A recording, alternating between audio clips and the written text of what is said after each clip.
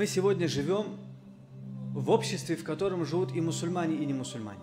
Исламофобии достаточно в мире ненавидеть мусульман и ислам.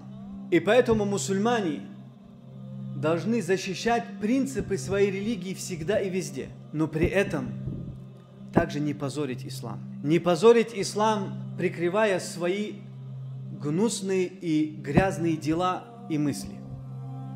Либо же не прикрываться исламом. Сегодня теряется дар речи, когда слышишь, что мусульмане, которые молятся пять раз в день, которые посещают мечеть, они замышляют различные преступления. Воруют имущество, отбирают имущество не по праву и тому подобное. Это не религия Аллаха, это не ислам. Это деяние, за которое ислам наказал бы намного суровее, чем наказывают сегодня.